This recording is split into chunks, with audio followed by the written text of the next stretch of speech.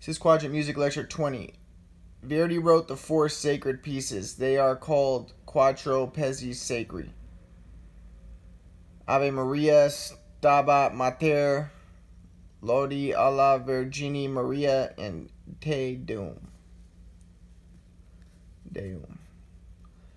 There are four animated members of the Gorillaz. They are 2D Murdoc Niccals. Noodle, and Russell Hobbs. The four gorillas are on their album covers. Demon Days is a quadrant cover, homage to the Beatles' Let It Be quadrant cover. The Gorillaz album cover, Humanz, had four separate album covers, one for each of the four members of the band. Aida is a very popular opera by Verdi. My grandpa had Aida at his house. The play has four acts.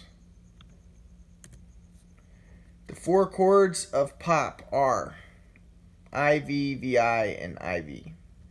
Axis of Awesome made a song parodying the ubiquity of these four chords in pop music. They are also called the pop funk progression by Dan Bennett because they are used frequently in pop funk. Bob Dylan uses the four chord progression in Lady Lay Lady Lay. The progression is also used in TLC's Waterfalls. The main guitar riff in Nirvana's Smells Like Teen Spirit uses four power chords. This song is one of Nirvana's most popular songs. The music video for Tool's Schism has important X imagery.